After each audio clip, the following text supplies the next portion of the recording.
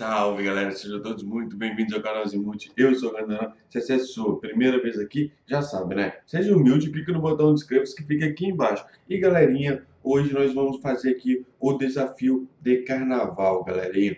Vamos mostrar aqui o deck que eu vou utilizar, o deck de Mecha Cavaleiro com Corredor, que já é um deck conhecido. E hoje eu vou mostrar para vocês como que a gente leva a primeira torre, de, a primeira torre, né? Porque o desafio já começa na morte súbita e o primeiro que leva a torre ganha. Então, se você conseguir completar o desafio, você completar o desafio todo, você ganha 1.500, 2, 3, 500, 4.600. Pô, Supercell, tá foda, né?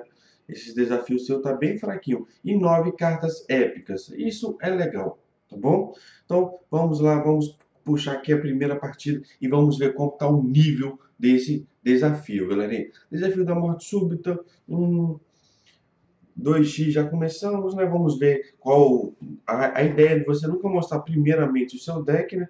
Mas já vamos começar aqui com um combo de corredor com o morceguinho. E vamos ver como que ele vai defender defendeu com gangue nível 8, galerinha. Então, o que, que é o bom da gangue nível 8 dele? É que o nosso zap mata a gangue dele. Veneninho aqui, é, mosqueteira nível 6. Então, essa partida aqui vai ser um pouquinho mais fácil pra gente. Não, não vamos mentir. Então, a ideia é a gente não pode vacilar mesmo. Então, levamos é, levando logo a primeira torre para não ficar de brincadeira no jogo. Porque quem vacila perde a torre, galera. Então, eu acho que ele vacilou aqui do lado direito, esqueceu de defender e a gente leva a torre bem rápido e vral. Muito rápido, muito rápido, a gente leva a torre. Então, quem vacila perde, galera. Então aqui você tem que ser rápido, não pode esquecer de atacar e é claro também que você não pode esquecer de defender. Defender é a parte mais importante do jogo. Lápide ali, né? Então vamos começar com o cavaleiro bem na retaguarda e vamos ver o que, que ele vai jogar. Jogou o gigante esqueleto. Então para isso a gente já coloca aqui o veneno, porque o veneno vai acabar com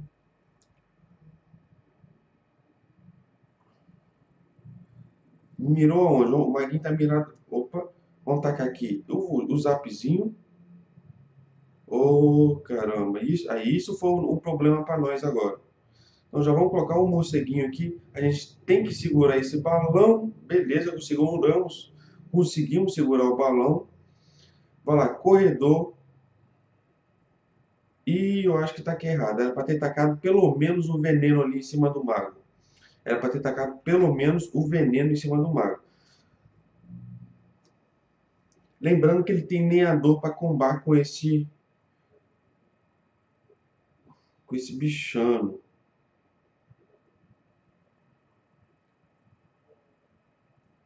Vai lá, não deixa o balão bater, balão bater uma vez. Ó, isso é um problema pra gente, hein, galera.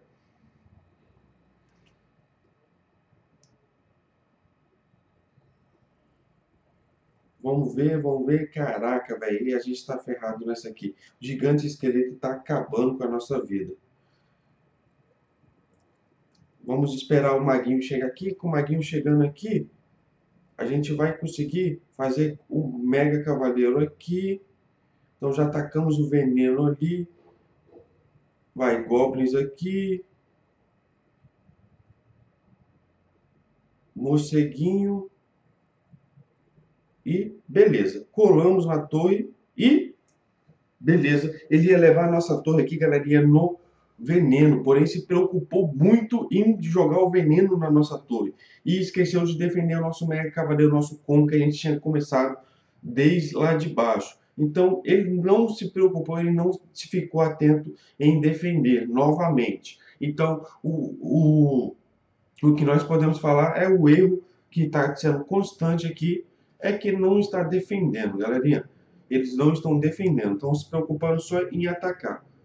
Zapzinho, beleza, Zapzinho maroto, jogado muito certo. Então vamos lá. É, olha só, novamente nós estamos vendo o, o mago em campo, galerinha. O mago em campo. O mago é muito chato. O mago é uma das minhas cartas favoritas porém ele, para você jogar contra ele, é bem ruim.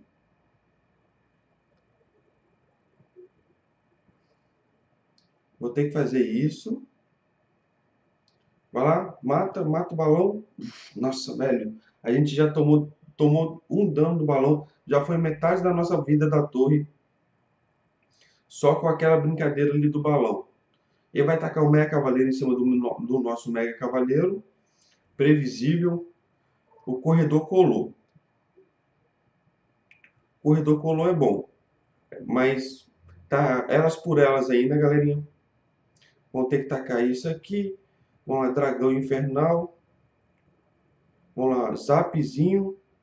Beleza, conseguimos parar ali o balão, porém conseguiu chegar na nossa torre do mesmo jeito. Vamos lá, veneno em cima de tudo. Beleza, gangue ali foi, vai ser parada pelo veneno. Então não gastamos nosso elixir totalmente à toa ali com veneno. Conseguimos jogar o elixir em campo. Lá, morceguinho aqui. Olha lá, o zap. Já era. Eu acho que agora, só com isso, então, jogou muito bem ali. Caraca, vai falar sério, deu um predict na gente. Mas é assim que funciona mesmo, é assim que funciona. Vamos jogar aqui mais uma partidinha, galerinha. É, na rinha agora dos só mutantes. Então estamos 2 barra 1, né? o desafio é 9 vitórias para você poder levar para casa. Vamos começar com o cavaleiro aqui, a retaguarda. Isso nunca começa muito avançado, porque ele sempre vai ter uma carta para cauterar a sua. Então você tem que pesquisar, você tem que prestar atenção no jogo para ver qual carta que ele vai utilizar para cauterar a sua, para você poder cauterar dele depois. Então, zapzinho aqui. Olha só, novamente mago em campo. A galera tá usando bastante mago. Então, já atacamos o veneno aqui. Não foi lá essas coisas, esse veneno. Então, já colocamos o cavaleiro para defender o mago. E o dragão infernal para defender este gigante esqueleto. Porque o gigante esqueleto não pode colar na torre, galerinha. Este gigante esqueleto colar na torre, a dor de cabeça é enorme. Então, opa. Vai lá. Oh, olha só, agora que eu vi aqui do nosso lado direito. O cara se preocupou em atacar do lado esquerdo. E a gente, eu só estava preocupado só em defender e fazer uns ataques do lado direito ali. Mas valeu a pena, valeu. Vamos jogar mais uma, vamos jogar mais uma que está muito legal. Está muito legal porque a gente está ganhando, porque quando a gente perde não é legal. Então, quando você perde, coloca aí nos comentários. Eu também quero saber se você não gosta, se você é igual a mim.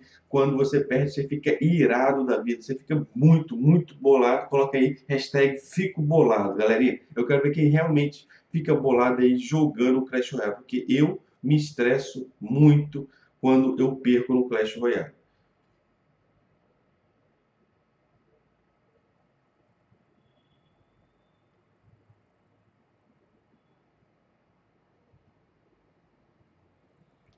Legal. É, porém, ele tem o, exatamente o counter do nosso deck, que é a P.E.K.K.A, né, galera? Então, counter do nosso deck é a P.E.K.K.A. Isso é um problema, porque... É um problema, porque não tem, não, não tem outra justificativa. É um problema porque realmente é um problema isso.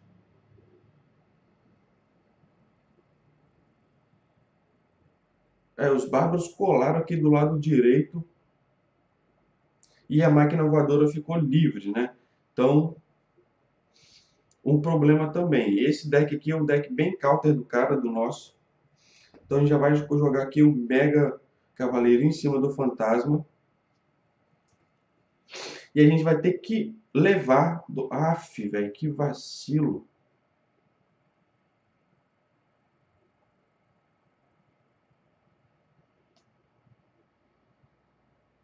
Então aqui, vamos colocar aqui o cavaleiro para defender. E a gente colou de colado, colamos do lado dos dois, para falar a verdade, né? Então a gente tem que se preocupar em defender agora. Então vamos defender. Não, máquina voadora, filha da mãe.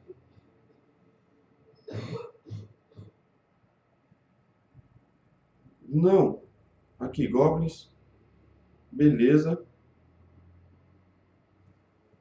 É, tá, tá, tá complicado, galerinha. Eu acho que não tem outra palavra. Vamos colocar o corredor aqui. E a gente vai ter que jogar o veneninho aqui. Mesmo assim, está complicado.